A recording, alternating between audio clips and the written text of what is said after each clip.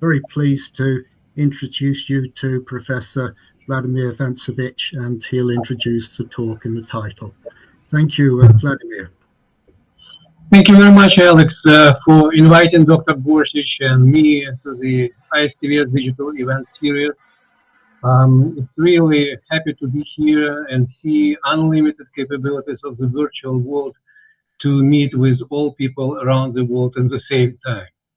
Um, it's really a good event and very happy to be here. Unfortunately, Dr. Gorsich cannot be here today with us due to his business duties. And on behalf of two of us, I will present uh, today's slides for our talk and we'll be happy to take uh, questions afterwards. Uh, Dr. Gorsich and I uh, wanted briefly to talk about the Journal of Terramechanics before we go to the today's talk. Uh, as many of you know and uh, may recall, beginning in 2016, um, the Journal of Terramechanics and the ISTVS conferences established a regular session on advanced controls and artificial intelligence applications to terramechanics. And we extended uh, the scope of the journal to terramechanics and off-road dynamics of vehicles with different level of autonomy. Uh, to planetary rovers and manned, unmanned vehicles with high speeds for other celestial bodies. We extended our uh, scope to autonomous vehicles for motion in the ground, not only under the ground. Autonomous amphibious vehicles, underwater vehicles interacting with the bottom of the sea. The Journal of Terramechanics already published several special issues on related topics. Uh, we regularly include um, those papers in our regular issues. Um, those uh, special issues, they were on real-time terramechanics, autonomous vehicle mobility, energy efficiency, and many others. Uh, we will be happy to receive and manage your submissions uh, on related topics. And if you have any questions, don't hesitate to ask today or offline or shoot me an email, Dr. Gorsich, and we will be happy to answer to uh, those questions.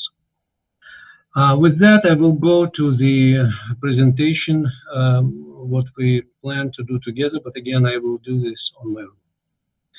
Autonomous mobility as a research and uh, development area is very broad. Today, we briefly summarize some of our joint publications related to autonomous vehicle mobility and discuss our approach to two major subject matters what I'm going to show you when I share the screen. Um, I'm sharing the screen now.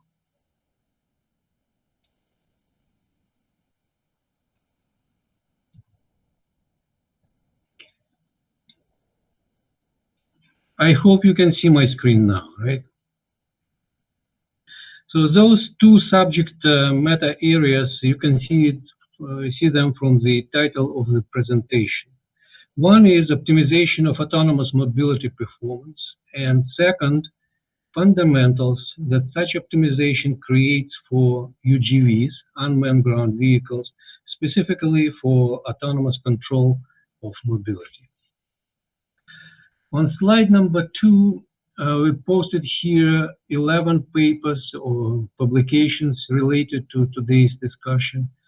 When you see a digit in the bracket on a slide, this digit means that a reference paper a number from this list of present, uh, list of papers. Uh, we begin our uh, talk with a brief overview of terrain mobility of conventional vehicles with driver. Specifically for such vehicles, our interest is mobility definitions, and technical approaches to modeling, simulation, and assessment of mobility. We concentrate only on those aspects of uh, modeling, simulation, and assessment uh, that can bring us to understanding specific of autonomous mobility of unmanned ground vehicles. Next, we will talk about uh, indices to assess autonomous mobility. In particular, we present mobility margins and mobility performance indices. We formulate a mathematical problem of mobility performance optimization and discuss its solution with application to different operational modes of vehicles and different terrains. Very briefly, we touch experimental verification of the optimization results. You can find more in our papers. Differences in vehicle energy, energy efficiency optimization and mobility performance optimization will be discussed next. This is very decisive for our discussion today, since both optimizations have been considered to be the same for many decades, many years. The usefulness of the introduced mobility optimization for tire control, slippage control, is next. And we will talk about agile tire slippage dynamics and control with um, uh, essential for essential features for unmanned ground vehicles. And finally, we make some conclusions on the topics and outcomes. Over the past 100 plus years, terrain mobility of manned ground vehicles with drivers has been defined and researched in depth through mathematical analysis, computational simulation, and experimental studies. Different researchers define mobility in different ways, but nonetheless, the definitions are close to each other in principle, while they highlight different aspects of vehicle motion. On this slide, we provide three definitions which embrace three most important essentiality of mobility on soft terrains, which are important for our consideration. Dr. Wong introduces mobility as a vehicle performance. Dr. Chudakov, I believe, beginning in 1930s, differentiates topological mobility and grip mobility. And Dr. Ageikin considers mobility as a vehicle integral operational property. Based on the keywords highlighted in those definitions, we can conventionally agree that mobility, uh, terrain mobility, is considered as the overall operational properties that characterizes vehicle ability to move from one place to another Uh, while retaining its ability to perform its primary mission or task we can hi highlight two essential elements in our definition of mobility which are important for modeling, simulation, and assessment. The elements, they are the vehicle capability and ability to move from one place to another place in principle. And second, the vehicle capability and ability to perform its primary mission Let's keep those uh, two elements in mind as they will be important for us to define autonomous mobility. On this slide, we continue on conventional vehicles. As our analysis indicated, modeling, simulation, and assessment of mobility is based on indices that can be split into five groups to characterize vehicle traction potential, engine power, grip properties of the vehicle running gear system, slippage and velocity, rut depth, tunability and stability of motion, vehicle ride, and rollover. Uh, the number of indices to characterize mobility in all five groups can be 15 or even more.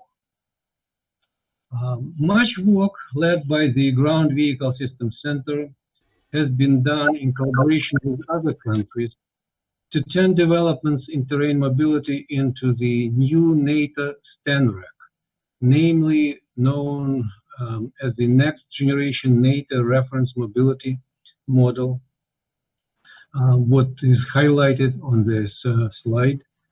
And uh, in June, there will be another Terrabite in the digital event series that I can announce today Dr. Bolling and May, George Mason, Dr. George Mason will be discussing uh, related technical issues um, uh, related to mobility of manned vehicles. Our concern today is the conclusions, what we can withdraw from the technical definitions, indices, numerous studies of manned vehicle dynamics with only one purpose, how we could move mobility science towards autonomous vehicle mobility. And we present those conclusions on the next slide. The first conclusion, and this is important, modeling, simulation, and assessment of conventional vehicle mobility is considered as an open loop system. This means that in mobility studies, terrain condition is specified, the vehicle-terrain interaction is simulated using terrain mechanics and vehicle dynamics models. And we compute and analyze indices that we accepted for mobility assessment after we simulate the vehicle-terrain interaction. Second conclusion, which can we, we can withdraw from these three items, uh, A, B, and C, is that mobility assessment is actually a post-processing, meaning that we may assess the mobility performance after a computational simulation. And we have two possible options for such assessment. Let's say we can say vehicle got stuck, immobilized, or vehicle was able to go through, and then we provide uh, quantitative estimates of mobility. Conclusion number three that is um, that there is no feedback, um, you know, um, to improve mobility in real time when vehicle is on the go. As for the human driver in the loop, we can talk about two options. Option number one on the left, uh, I think it doesn't need any additional comments. And uh, for the uh, option number two, let me play this video. Um, the driver of this truck is a very experienced person. You see the, the truck is moving in the ditch with a very deep water. And um, it got completely immobilized. But when it's happening, the driver continues to throttle and spin the front wheels. You see the front wheels, they spin. When spinning, the wheels, they are digging into the soft soil, getting to the next layer of the soil with a better grip. You see, it still cannot get out of this ditch, but in a second, the driver accelerates again and the vehicle can get out. Um, based on this analysis, uh, what I just provided on these slides, we can conclude on the following key characteristics of the man unmanned vehicle mobility modeling simulation assessment which are important for our discussion about autonomous mobility. Again, the modeling, simulation, and assessment is an open loop system that is simulated in given terrain conditions in, with mobility assessment as the post-processing, not in real time when vehicle is on the go. And there is no feedback control in simulation unmanned ground vehicles, um, they don't have such luxury to operate as an open loop system. And the absence of real-time feedback control would be a failure for UGV mobility. UGVs operate within the framework illustrated on this slide by the, this two-block diagram. As you can see, artificial intelligence-based perception and planning in severe environment, um, UGV should make a decision on its mobility, having or not having human in the loop. And UGV should implement that decision into control action. Here, UGV decision making and control is about two things actually. First, is the mobility state. How far I am from complete immobilization. Can I move in principle? And second thing is mobility performance. How good I am in my motion to fulfill my task. To have good answers to these questions, UGV should first have a potential to advance its mobility on a need basis, and second, have a technical ability to utilize such mobility potential and improve UGV mobility performance to its maximum. From this, we can say that the key characteristic of UGV mobility model and simulation and assessment, which are important for understanding autonomous mobility, can be named as following. Simulation framework is a closed loop system. We see this uh, from this slide. Terrain conditions are given or not specified and should be identified and characterized by UGV exteroceptive and proprioceptive sensors. All processes undergo in real time, so to speak, on the go. Artificial intelligence and feedback controls are required. Online mobility performance optimizations is really needed. Our first discussion will be concerned with mobility optimization. Some other key features of autonomous mobility will be only touched on with regard to the current research with what we're doing in the Autonomous Vehicle Mobility Institute. Let's talk um, about some specifics of autonomous mobility model and simulation, which are important for mobility optimization. First, UGV should predict mobility margins, meaning that UGV should assess its mobility state with regard to complete immobilization. Second, UGV should assess its mobility performance. And third, UGV should optimize its mobility performance while maintaining certain mobility margins. So logically, next questions we need to ask ourselves and find a good answer is, what are the requirements for UGV indices to assess mobility margins and mobility performance? So we try to answer this question on the next slide. The mobility indices should be established as a set of technical parameters that results from real-time dynamics of the tire-terrain interaction. Such technical parameters should be measurable and controllable in real time. These technical parameters should characterize UGV technical productivity, not energy efficiency, and enable assessment, optimization, and control of UGV mobility when the vehicle is on its mission. So now, um, please notice that we emphasize on technical productivity of UGV because the technical productivity directly relates to the fulfillment of the vehicle mission. And we remember that the mission fulfillment is an important component of the mobility definition.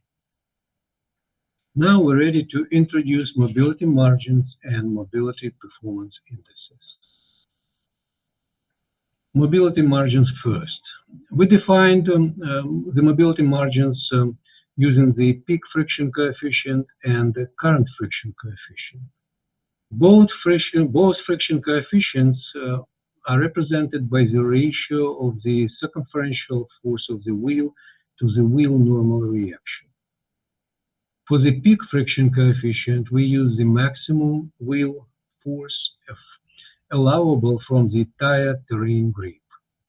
And for the current friction coefficient, the value of the wheel circumferential force is determined by the external resistance to motion. This diagram of a single wheel module explains the resistance to motion, which may include rolling resistance, gravity components, air drag, and inertia force. As seen from this graph on the left part of the uh, slide, the wheel has a sufficient mobility margins at t1 moment of time. This is indicated by a pretty big difference between the peak and uh, current friction coefficients. We consider that the wheel gets immobilized between T2 and T3 moments of time when the current friction coefficient uh, reaches the peak friction coefficient values.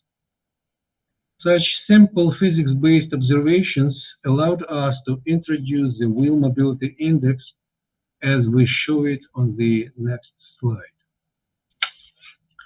The wheel mobility index is equal to unity minus the ratio of the current value of the um, uh, to the peak value of the circumferential force of the wheel.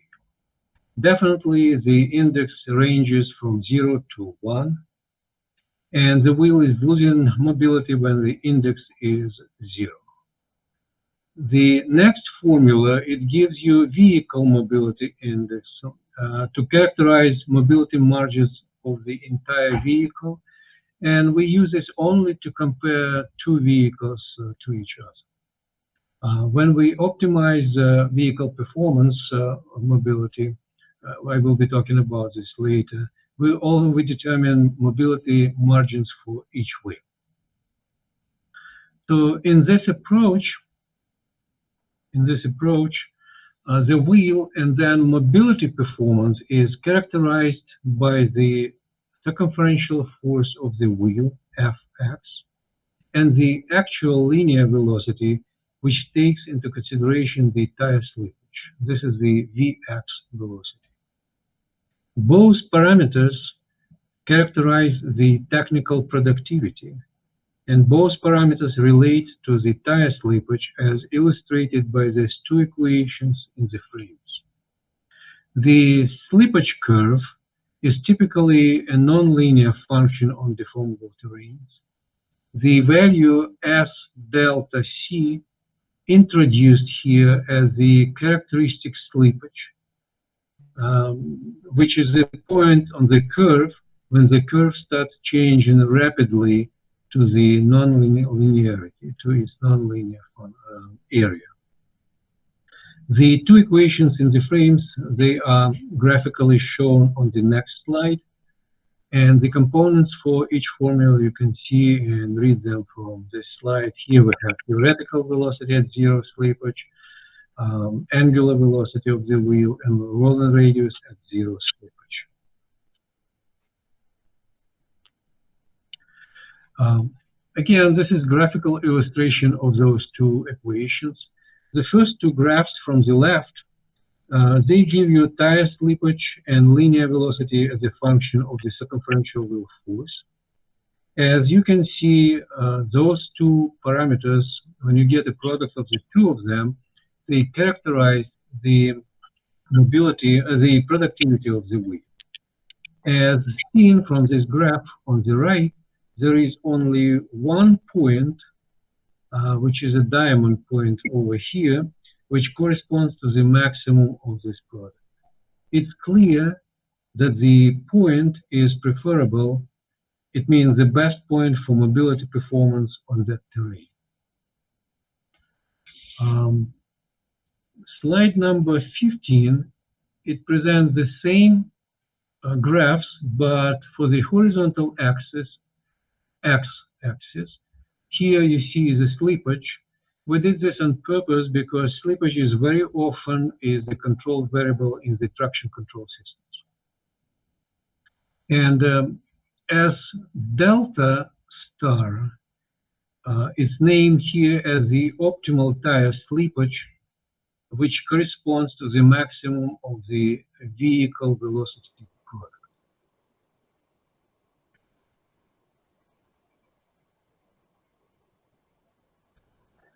Now we talk about uh, wheel mobility performance index.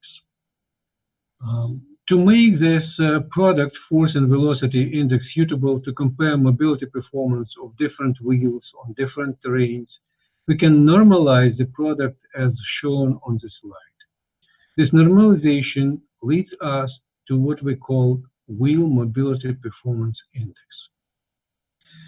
Indeed, the ratio of the wheel circumferential force to the normal reaction, this is the ratio Fx to Rz, to Rz, characterizes the potential of a wheel to transform the normal reaction into the traction.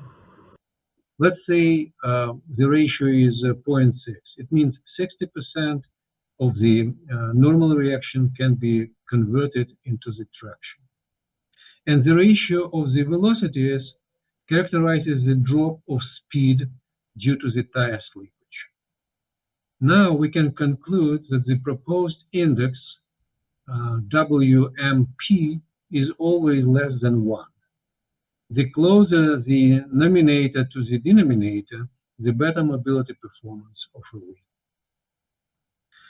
Um, now let's um, analyze the component um, of the formula for the suitability for real-time assessment and control. Um, from the first look at the index, it's clear that all parameters in this equation can be measured or observed and then can be controlled. The wheel circumferential force is determined from the wheel torque in a conventional uh, vehicle with conventional um, powertrains, it could be the torque could be determined from uh, inverse vehicle dynamics control, for example. Uh, to do this, you need only to know uh, angular velocity and angular acceleration of the wheel. And in electric vehicles, the torque can be uh, obtained from the electrical current. Um, the normal reaction, RZ, can be observed, and I will be talking about this later in this presentation. Um, the rotational and linear speeds, they can be determined from vehicle sensors. And finally, the rolling radius can be experimentally determined as a function of the normal reaction and um, uh, inflation pressure in the tire and submitted for uh, computation, for example, as a lookup table. So all this, what I just listed, makes attractive to extend wheel mobility index to the entire vehicle. And here we have it, um, uh, these two equations which characterize um, this uh, vehicle mobility vehicle mobility performance index and um, you can see that the normal reactions, circumferential forces, velocities, rolling radius, tire slippages, they can be different on different wheels for obvious reasons shown on this slide. Terrain under the wheel can be different, not the same under the wheels. Characteristic of those power dividing units, as you can see this on this diagram of the vehicle, uh, they can be different. This 6x6 vehicle, it has five power dividing units to split power between the wheels. And uh, the characteristic uh, def definitely impacts uh, slippages and circumferential forces of the wheels. And suspensions at different wheels may have different characteristics too. Um, having said this, we can begin to formulate the uh, performance optimization problem. The numerator of the objective function is the total resistance to vehicle motion, which is not controllable. Uh, this, to this, total resistance to motion includes rolling resistance, vehicle gravity components, drawbar pull, and all others listed on this slide. Uh, for this reason, we can use denominator as the objective function that should be minimized to determine the optimal set of tire slippages. And tire slippages, they are certainly constrained. For the constraints, we use the characteristic slippages. Um, you, you remember this as delta C uh, which is a point on the slippage curve when the, uh, curvature of the slippage curve begins drastically increasing, plus some kind of delta, which allow us uh, to look for optimal slippages in the uh, nonlinear, really nonlinear area of the um, of the curve. In paper number one, published in the Journal of Terramechanics, you can find all mathematics we did to prove the existence of the optimal power to slippages as a unique, a globally optimal. For this purpose, we use the Lagrange multiplier method and the Hessian theory. As um, the analysis proved, the maximum of the vehicle mobility performance index is observed at different, not equal, slippages at the different wheels. And I can illustrate this graphically for you on this slide. The three-dimensional plots illustrate vehicle performance, uh, mobility performance index for a 4x4 vehicle uh, number one curve with the uh, number one line, blue line, with the optimal power distribution between the wheels with optimal slippages. Second, uh, for the vehicle with open differential in the transfer case. And number three is the same vehicle with locked differential in the transfer case. As you can see, the mobility performance index of the vehicle with conventional driveline system takes lower values than the index of the vehicle with optimal distribution of power between the wheels that provides the optimal tire slippages. We conducted computational simulations in different conditions as they shown here on the slide.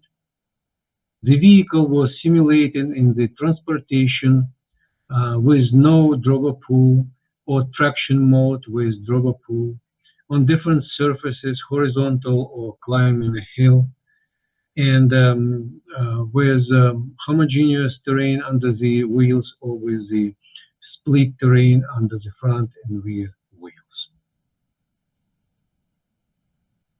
Um, on those uh, four quadrants, A, B, C, and D, uh, we illustrate computational results on different split terrains in traction mode with drawbar pull force. When the front and rear wheels, uh, they are on different terrains. For the sake of time, uh, I comment upon quadrant A only. As you can see, mobility index is a uh, blue curve is maximum at the optimal tire slippages at a certain uh, drawbar pull, right? When the differential in the transfer case locked, we have two cases, case number two and case number three. Uh, number two is with zero kinematic discrepancy, and number three is with zero with non-zero kinematic discrepancy, meaning that theoretical velocities of the front and rear wheels they are not the same. Um, there are no simulation results for the open differentials in transfer case. The reason is that when the, the uh, vehicle with the open differential drops its velocity very quickly when the drawbar pull is increasing and the vehicle is actually losing uh, mobility, get immobilized, completely immobilized. Some interesting results were obtained for the transportational mode on flat split terrains um, here we simulated two cases. Number one is uh, terrain is softer under the front wheels. The snow meadow uh, in, the, in this um, column. And second, the terrain is softer under the rear wheels. You see snow under the rear wheels here, and meadow is under the front wheels. And now, please take a look at the ratio of the optimal slippages when the front wheels move on snow. You see that the maximum mobility performance is achieved if the front wheels are disconnected from the driveline system. It means in this in this case, vehicle 4x2 behaves better in terms of mobility performance than vehicle 4x4. However, when the rear wheels move on snow, the vehicle should be in the 4x4 operational mode uh, for the best mobility performance. Similar computational results we received on uh, other, um, other configurations of the terrain. Uh, analysis of the mobility margins show that the margins are different for different driveline systems of the vehicle. You see here WMI1 and WMI2. This is for the front wheel, this is for the rear wheels. However, the numerical values of the margins on the terrain under consideration, they are pretty big. You see the values. And for the uh, optimal power distribution between the wheels when the slippages are optimal and mobility is performance is maximum, the mobility margins in those terrains they're pretty big, between 64 and 97 percent. We see that the vehicle is far away from uh, complete immobilization. So what kind of conclusions we can make on this uh, vehicle mobility optimization process? We made uh, many interesting observations and conclusions. You can find them in the paper. On this slide, uh, we emphasize only two findings. On homogeneous terrains, the mobility performance indices of the vehicle with conventional driveline system and optimal tire slippages, they are close to each other. However, this is not the case for split terrains.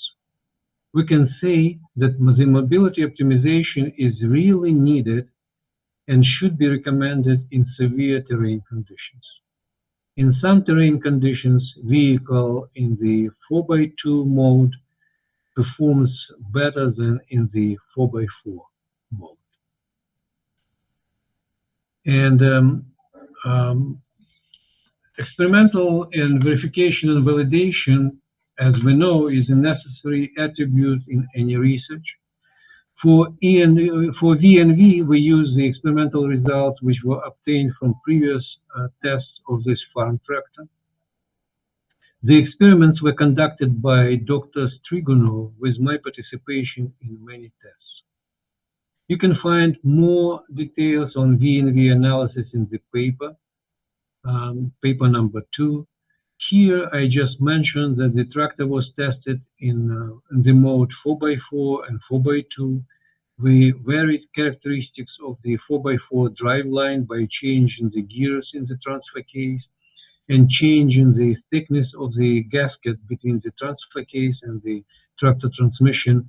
Uh, this was done to change the kinematic discrepancy. It means to change the uh, theoretical velocity of the front and rear wheel. Next slide is very interesting and important, I believe.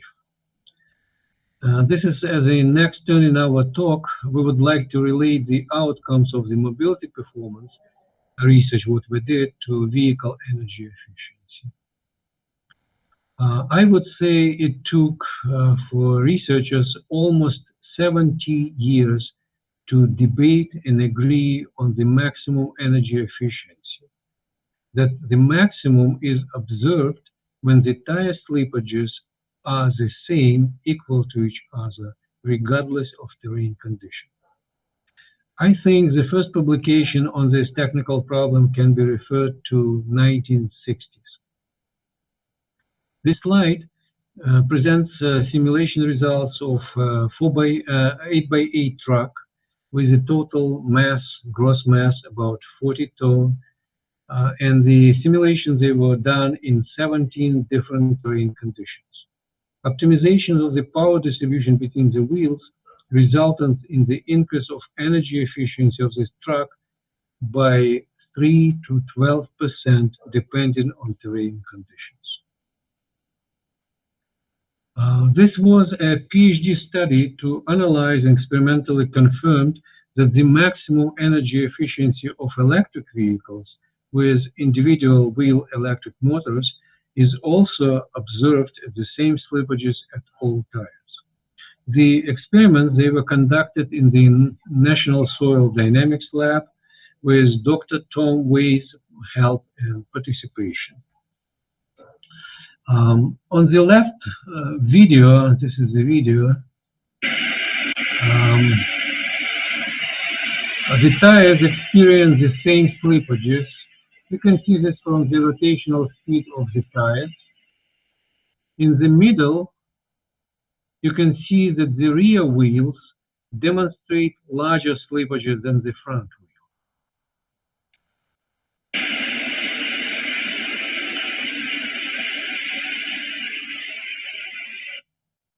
And finally, on this uh, right uh, side, uh, excuse me, right side video, you see that the front wheels, they have greater slippages than the rear wheels. Looks like the front wheels, they try to run away from the rear wheels. Energy efficiency computed and experimental determined show that the maximum is in the case when the tire slippages equal to each other and the zero discrepancy between the front and rear wheels uh, and zero kinematic discrepancy between the front and rear wheels is zero.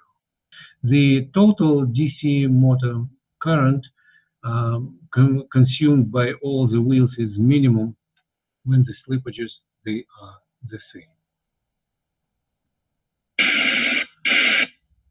So uh, on this slide, we make conclusion which is important for control design. On plot A on the left and plot B in the middle, you see the vehicle mobility performance indices and running gear efficiency as a function of the drawbar pull FD. The two maximums, they occurs they occur at different values of the drawbar pull.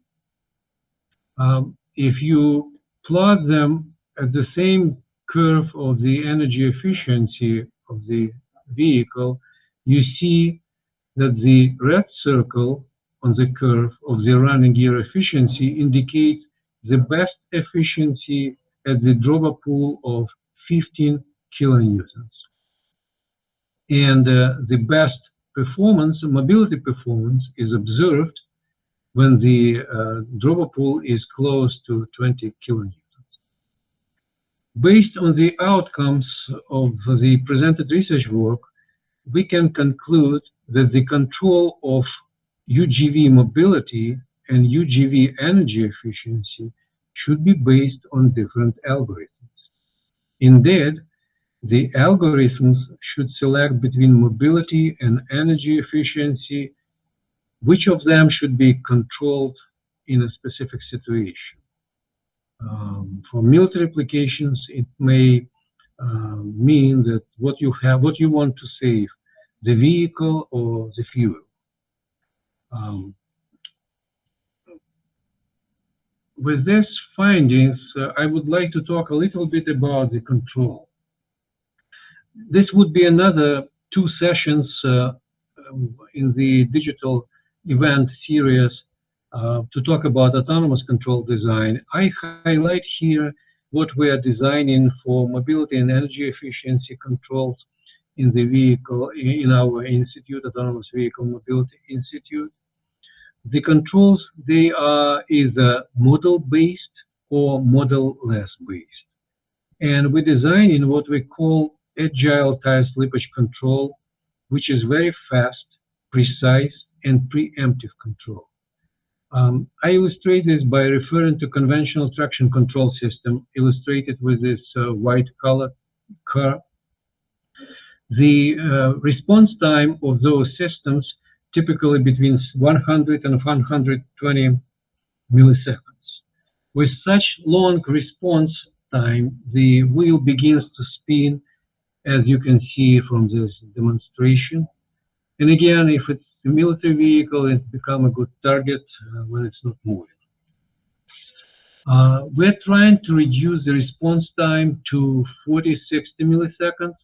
which is close to the longitudinal relaxation time constant.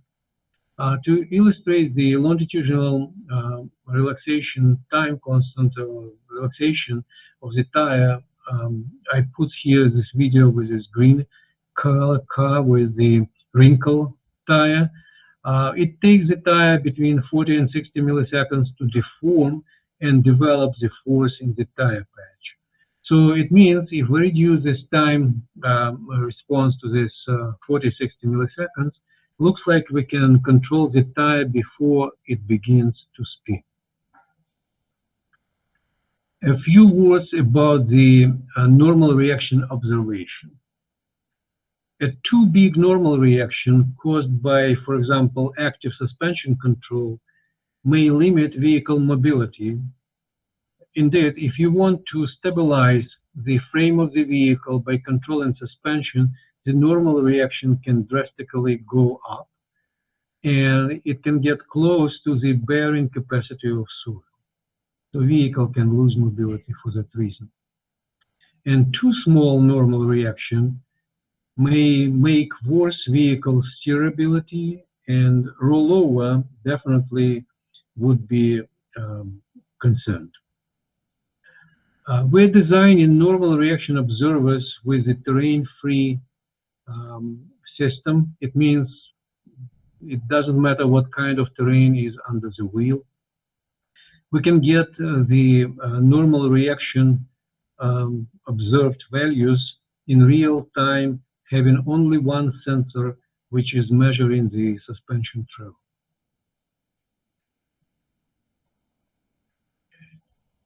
And this is, uh, we're close to the end. And uh, for the conclusions, again, um, I would like to reiterate that modeling simulation and assessment of conventional vehicle mobility has been considered as an open loop process. The indices used for mobility assessment, they are suited for the post hoc analysis. Um, for unmanned ground vehicles, the model simulation and assessment of mobility should be considered as a real-time closed-loop process. To satisfy such requirements, we propose the mobility vehicle mobility performance index, which can be measured and controlled in real time. And um, the mobility performance index can serve, we believe, as the primary index to maximize mobility performance. Unlike energy efficiency, the maximum mobility performance occurs at different values of tire slippages at different wheels, regardless of terrain conditions.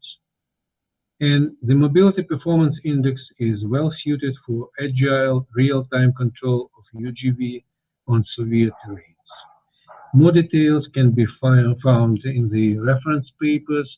And with that, I thank you all for your attendance of this meeting and patience, and we'll be happy to take some questions.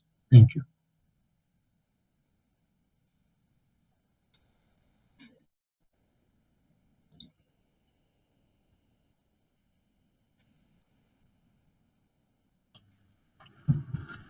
Right. Thank you for um, the, the, presentation, Vladimir. Um, so we, we move on to the next stage, which is question and answers. If um, I'm having a look at the chat to see if there are any questions coming through, and we don't have many so far, if at all. So if you would like to um, ask a question, could you please either type into the uh, chat or if you put your hand up, if you go down to the uh, the toolbar and you highlight, uh, you, you hover your mouse over uh, the chat, you'll see a raise hand. So if you click on the raise hand, we could identify you and then um, somebody could switch on their video and audio and ask the question. Um, so while we get some response there, then um, there's one one thing that sort of it's just a more of a more of a general one really, um, Vladimir, and that was that different vehicles in for different uses will will have very often quite different requirements for for operation. Uh, the, the, the obvious example is agricultural tractors versus military vehicles, particularly military vehicles in convoy, where with agricultural tractors, then terrain damage it has to be minimized. Slips may actually be quite low, and one of the criteria of interest is the actual performance of the drawbar for ground engaging implements. So the tractive efficiency, um, as separate to the engine efficiency to in the drive line, is is is um, very often a key. Whereas with military convoys, uh, the, the major criteria might be that the last vehicle in the convoy has to be able to complete the journey. Um, have you got any thoughts about some of the discussion, how you would actually uh, focus some of your, your, your analysis towards one of these areas or the other? And of course, construction vehicles may actually have rather different requirements because if they do become mobile immobilized for example it's not difficult to find another machine to to right. uh, to um, get it from, from from where it's being stuck into into operation again. I don't know if you've got any thoughts about the, the different application of the analysis to different groups of, of, of machinery. Yeah alex it's a great question and actually not one but a lot of questions and we can talk about this another hour probably in, in our papers, number one and two, we analyzed a little bit different areas of applications for off-road vehicles, what you just named them. Uh, construction machinery, they very often move with very low speed, uh, right? This is one of the requirements. Farm tractors, they should not damage the uh, soil, definitely, for yield. Mm-hmm. Uh, so different requirements. We analyze them and then we say, now we understand this is all problems, technical problems and questions. We leave them aside and we are doing what we have done and what I presented related to off-road trucks and uh, some military applications. Mm-hmm. Um, however, next what I would like to say is that we really think about uh, what the technical problems you raised specifically about the damage what uh, off-road mobility brings to the soil. And uh, in one of our papers, not listed here, I think, we uh, introduced um, uh, a characteristic which takes into consideration the soil damage. And we just mentioned um, that this can be also included into the optimization process for specific vehicles. So we thought about this, and I know several other publications in uh, different countries in Europe. Uh, they also highlighted the need of this. I also know, and um, uh, this was this was done by the way uh, uh, in ISTVS. So we had several papers in our conferences uh, from several courses. That they say about the damage what military vehicle brings on proving grounds to the soil. So how to restore the properties of the soil. But again, um, this is all, all open questions uh, with no answers at this moment. But again, uh, the index, what we proposed, can be uh, used for mobility performance uh, assessment and optimization for off-road trucks. This is for sure. For farm tractors, it also can be used if productivity is the point. Uh, all um, uh, you know all requirements for the soil potential damage could be included as the constraints uh, mm-hmm. into the optimization. This would be a brief answer to your very big, comprehensive question, but it's really, really a good question. Thank you. Okay, right, thank you. We've got a, a question for uh, Narend from Narendra uh, Kota, and uh, it's two questions. The first one is, um, are there any effects of snow train uh, studied? And secondly, um, anything where you've involved trailers and uh, other attachments on mobility. So the first one is the, the how much how much data you've got access to, which includes particularly snow uh, and other terrain. Um, as a first question, please. Um, I'm not a snow person per se. We yeah. have CRREL, uh, excellent uh, researchers uh, who do research on snow, and we have research in other countries, researchers in other countries who spend years and years studying type of snow and interaction with the snow. I am a user of that research. I just use that research uh, for computational simulations. Uh, specifically, I use the rolling resistance on snow um, data. I use the slippage curves on snow data for, for the optimization purposes. But uh, personally, I did not do any uh, research related to studying snow and behavior of vehicle on snow. Okay. Again, the second part of the question was, um, have you investigated uh, any situations where there are attachments such as trailers or sledges or uh, anything else? Um, trailers, uh, we did a lot of research for highway heavy duty trucks with um, uh, tractor and semi-trailer or trailer configurations. And we did this for, again, for uh, energy efficiency, for productivity of the trucks, and for turnability and stability of motion. This for on-road conditions. For off-road conditions, we also did combinations, let's say, vehicle, it could be a farm tractor and a trailer. And we studied turnability, stability of motion on soft terrains. Specifically, um, if you bring power to the wheels of the trailer. Yeah. So uh, this a big, big question. Several uh, PhD uh, studies uh, have been done. Um, I believe the first one I know it was somewhere in 1980s, as I recall.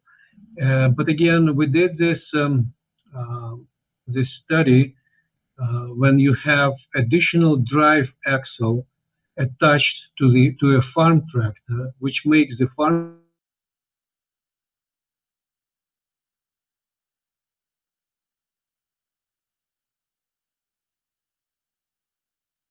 um, with the um, I forgot the word um, when you have articulation between the third axle and the second axle of the tractor, and then you can put a trailer on that drive axle and you have to uh, make sure that there is no discrepancy. Uh, window at the top.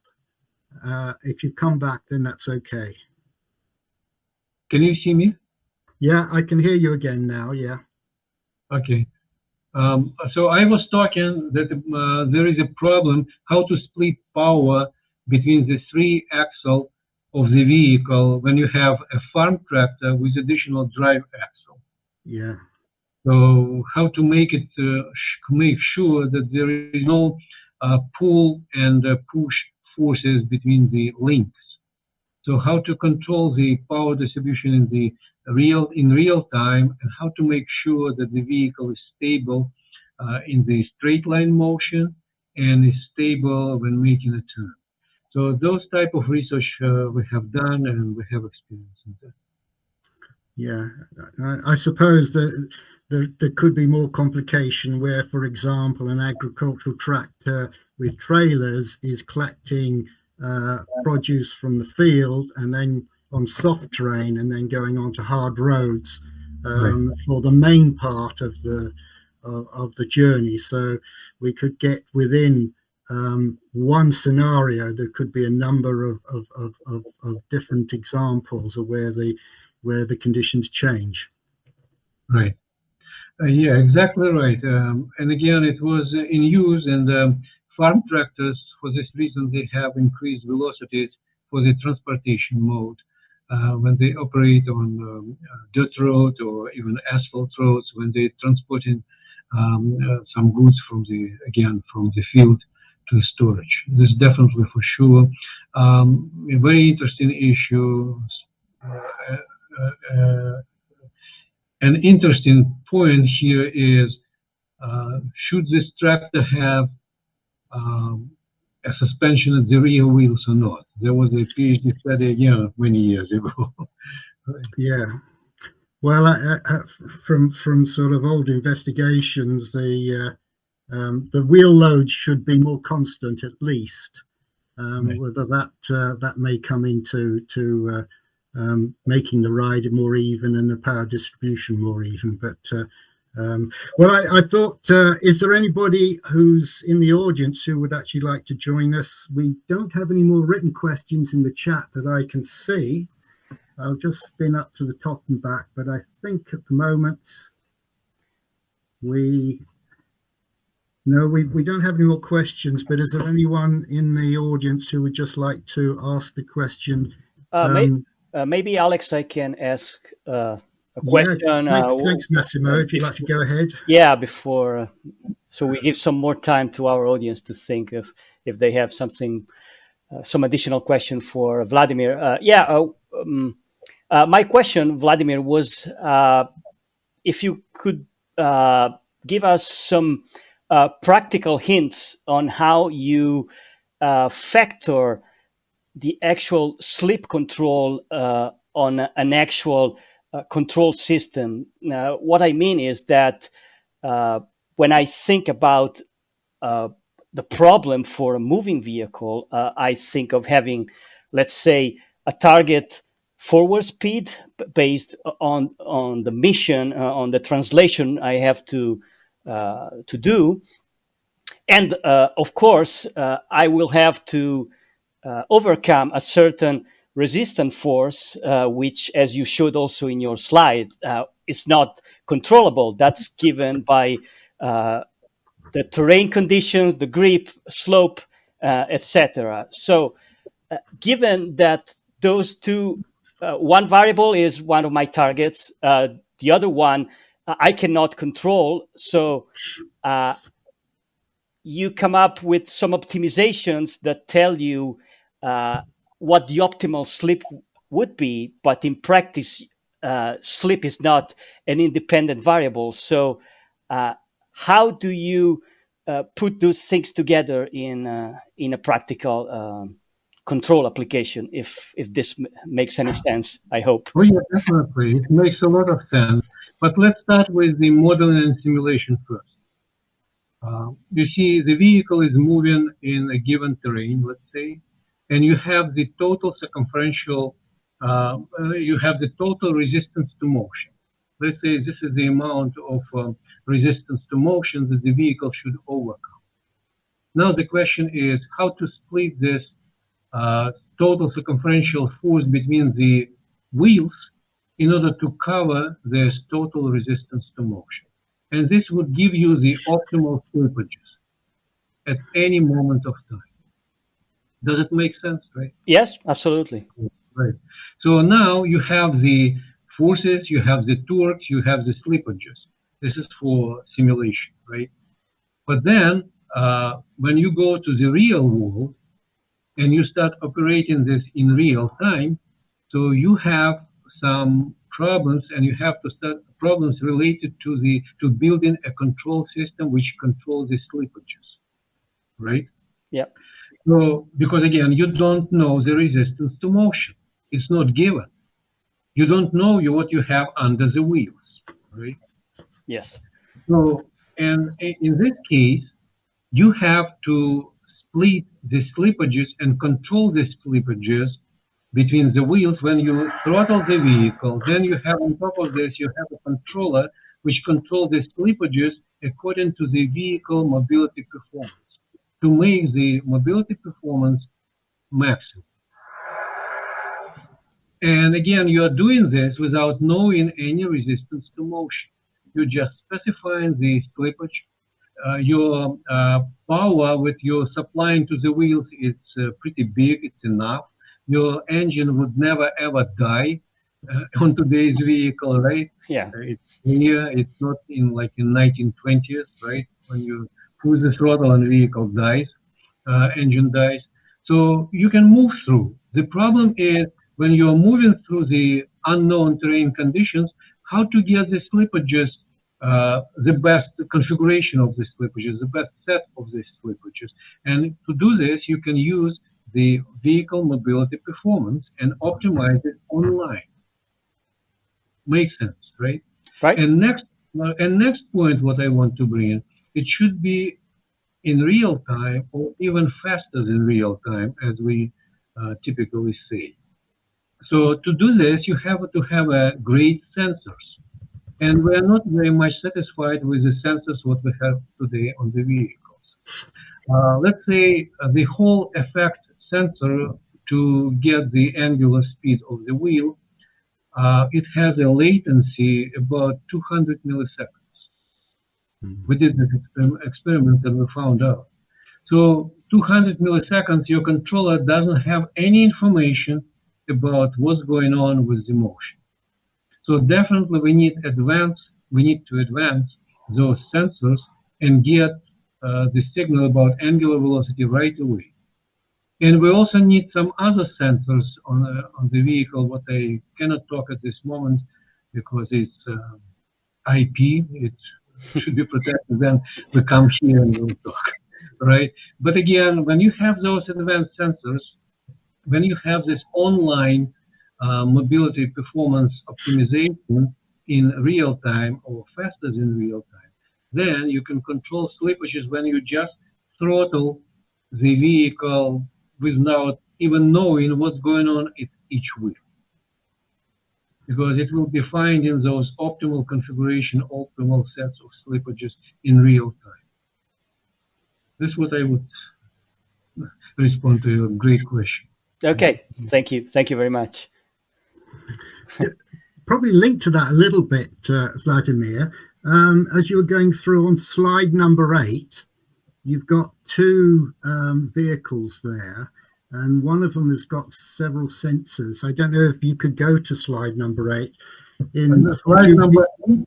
Yeah, you were referring uh, with with Massimo about sensors, and um, you, you're showing a vehicle there with a number of sensors, are there a minimum required number of sensors and then extra sensors which will give you, um, you know, further control? Is there anything you'd like to say about the required sensors um, um, to, to, be able to do the analysis? Right. First, we try to utilize the sensor, the existing sensors, as much as possible, not to bring any additional cost to the vehicle. This is number one. But uh, number two is if, the, if a sensor does not um, satisfy the requirements for agile tire dynamics and control, we say we have to move to a different sensor. Um, second, uh, uh, again, we try to bring sensors only on a need basis.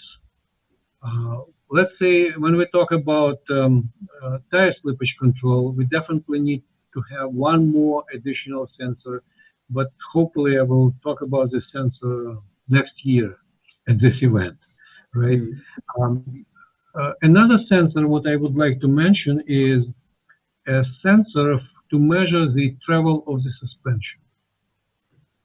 Um, when the control arms goes up and down in the vehicle, we need just a potentiometer, a very simple sensor to measure the travel. And based on this travel and based on the mathematics we have, we can observe, we can predict and estimate the normal reaction in the tire patch. You see, we don't need to measure the sinkage of the tire. We don't need to measure any deflections of the tire or deflection of the soil. We don't need any cameras. We just need one potentiometer to measure the travel of the suspension and based on this travel, we can tell, tell you what is the normal reaction in the tire patch. And that normal reaction is very important to estimate rolling resistance, to estimate, uh, again, potential immobilization of the vehicle. As I said, uh, when you have a semi-active or active suspension and you are controlling the um, stabilized motion of the frame, you have, let's say, to have a vehicle uh, frame always horizontal. Whatever terrain you have, the vehicle frame is always horizontal. In this case, the normal reaction at the wheel will be drastically going up. So if it goes up, the pressure in the tire patch goes up, and the pressure comes close to the bearing capacity of the soil. So it means you have you might have problems with mobility. At the same time, if uh, we need to know the normal reaction to see what's going on with the steer steering your vehicle. If the normal reaction is about 20% of the static load on the tire, the steering of the vehicle would be in problem. And finally, rollover to, to see what you have the, for the normal reaction and how far you are from the rolling over is also very important, again, for mobility. As we saw from the, those definitions, what I presented in the very beginning uh, on, on this slide. Okay. Right, thank you. Um, we don't have any more questions specifically in the chat. Um, you, you've referred to the uh, on the first page of your slides. There is a list of of, of references. We can put those into uh, when we um, upload the info into the resource initiative page uh, and put a link into the YouTube page. Then uh, Oh, hang on a minute. We have we do have a question. I'll come back to what I was saying in a second. It's David, Dave White, who's who's there. Could you want to switch on your your camera and, and video, David? Hello, David. Hello. I was yeah. just thinking, Vladimir, about the uh, little short video that you had about the vehicle driving along under those arduous conditions, and then it was only the skill of the driver who then reversed back and then managed to get over the uh, the obstruction. Have you apply and, and, and if that had been a totally autonomous vehicle, then I'm guessing it would have actually have got stuck. But have you then applied your uh, control system to such a vehicle to see whether it would automatically be able to get itself out of that situation? Without the um, the very skilled driver? You see, it's a great question, but I think we are far away from that point when we can make it possible. Um, probably our, in our dream we can do this now, but again, uh, uh, again, autonomy it has so many different aspects. Autonomy stack of perception, uh, planning, and control it's a big, big technical issue. And Dr. Gorsich, he would be here, he would tell you much more about uh, the work what's going on now to developing those uh, uh, autonomous stacks uh, to, to, to do all this, to include all possible applications, including what uh, David, you just uh, mentioned. Well, it's a very hard issue. And again, I don't even know how many sensors the vehicle should have in order to get out of this situation, out of this trouble. But it's definitely a big technical problem, and we're definitely trying to address this. And um, uh, you saw this on the slide. Uh, just I put this on purpose. Thank you very much. Thank you. Yeah, thank you. Thank you. It's a great question. Just thinking on that one, Vladimir, if uh, the example that, that, that, David White was giving you, if you have a, a, vehicle in that situation that understands that it can't it can't come up with an answer, could you not just switch to a remote driver? You have a, a, a connection to, to somebody that, that calls up a remote driver in emergencies and the remote driver takes over for that short period to to to drive the vehicle, and then return to the to the uh, automation? Um, I would um, uh, answer the, your question in two ways. One is definitely uh, a driver and operator can be in the loop, on the loop, or out of the loop. So in the loop, continuously, you know, driving the vehicle on the loop, the driver comes to the driving process on a need basis, as you said. But uh, probably what I would do is I would try not to get the vehicle into this situation. And mobility margins and mobility performance, I think that they would allow us to do that. If vehicle in online mode estimating the mobility margins, it means how far I am from a complete immobilization. And if vehicle see that the mobility margins, they are becoming critical, the vehicle should go backward and on the way to replan the trajectory path, keeping in mind what kind of map, go or no go map the vehicle has in its possession. And then get out of the, not to get into the trouble, to the ditch with water, but to go around. This would be probably a better solution for this. Mm. But again, if you are already over there, what you are saying to have a driver definitely would help. Okay. Oh, we've got um, we have quite a long question here. I'll have a quick look and see if I can summarize it from Charles. Um, uh, I'll, I'll, I'll, read, I'll start reading and, and see if we can find a point to, to stop. Uh, as it was pointed out earlier in the talk, autonomous mobility is a function of platform planning and control. The cross-country mobility modeling community has identified that geometry, e.g. large changes in elevation, affect vehicle cross-country mobility. To me, it seems that platform mobility, performance for autonomous platforms, is thus dependent on your platform choice of action, e.g. heading into an area of high resistance versus uh, high uh, geometric variation. Likewise, vehicle immobilization could also be correlated to geometry of the scene, high centering of chassis, exiting a ditch, etc. Uh, would you mind providing some comments on how environment scene geometry impacts vehicle performance in your modeling, such as the mobility state? Mm -hmm. Do you want um, to? Did you get most of that, or shall I? Yeah, I, I, try to answer as much as I understand the question, yeah. and then we will see if there would be any other following questions. Uh, first, everything what was just said is uh, not in the scope of today's presentation. This is what I would like to emphasize.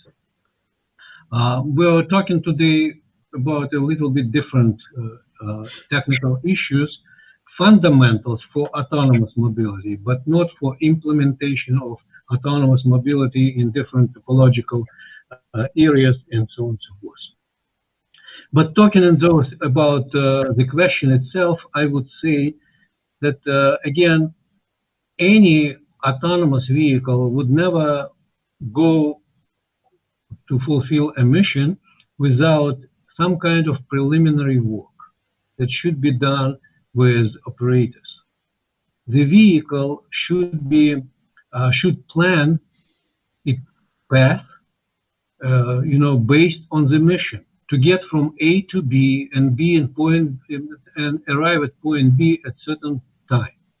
And on the way from point B, vehicle would be uh, planning in advance, would be planned based on the go or not go maps the way from A to B, the most, the best way to get over there, and that definitely diff different topological, uh, you know, uh, obstacles, hills or obstacles on the way, or forest, or some kind of other, uh, you know, um, uh, type of uh, obstacles, manned or uh, natural obstacles would be taken into consideration this for sure. The other question is when vehicle is already on the move and all of a sudden the weather condition changed and the vehicle realizes that it's not possible for this vehicle to go through this uh, pathway because of the terrain changes under the rain. The soil became so soft and mobility and vehicle cannot go through because as soon as the vehicle gets over there, the margins get critical values. So on the way, the vehicle should be capable to replan based on the map which is given to the vehicle to replane or having a human in the loop to replane the way to go from A to B, making sure that the arrival time will never ever change. Mm. So this would I would answer to this question. But again, it's a great question, and uh, probably different uh, solutions could be found for this. But this is what um, what I would respond. Thank you. Right. Well, thank you. Um, as, as, I was saying before, the uh, the list of the references that you referred to in the slides, um, we can put that up onto the uh, website when we upload the, the video and so on. And if there are any of the slides or, or presentation that we can put up as a PDF, then we'd, we'd love to do that. Um, so um, we thank you very much for the really interesting uh, presentation, which I think has got a lot for people to think about and a lot of areas for uh, you know future future work and, and, and discussion. And I'm just seeing some hands coming up. I think they're saying thank you. Hopefully, um, I'm not. Yeah, they, yeah. I think that's just hands floating across my screen from somewhere, but uh, um, I'm not sure what they are. Um, so thank you very much indeed for a great presentation. There's plenty to think about. And yeah. I'm sure a lot of people will start thinking about things when they uh, start thinking about this further on. Um, I did note in the middle of your presentation, you did refer that there was room for um, at least two or three further presentations um, in, in, in the future and we'd gladly give you an open invite to, to yeah. come back and to, uh, yeah. uh, to Thank you very Right. I would definitely extend this invitation to our research staff members in our Autonomous Vehicle Mobility Institute, who are definitely good professionals in control development, mm. and they can do this much better than I. Uh, I definitely invite them, please and let me know whenever you want them to have, and we will can plan this uh, this year or next year. Um, and uh, as my last word, if I may, I would like to thank all the audience for coming today, for your time you spent with us. I would be open to answer any questions offline. Please shoot me your questions, and we'll be happy to talk with you on Zoom or any other options.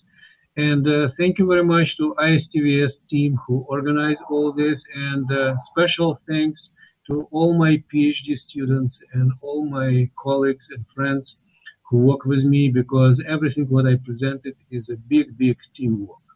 Thank you very much indeed. Yeah, well, well thank you very much indeed, Vladimir, and, and uh, um, for all the input into this. I think it's uh, it, has gone really well. Thank you.